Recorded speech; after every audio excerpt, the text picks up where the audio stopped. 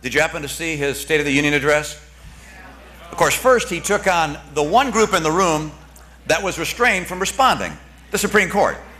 The, the president found it inexplicable that the First Amendment right of free speech should be granted not just to labor union corporations and media corporations, but equally to all corporations, big, medium, and small. Of course, when it was over, I think most Americans felt as I did. His noisy critique and bombast did not register as clear and convincingly as Justice Alito's silent lips forming these words, not true.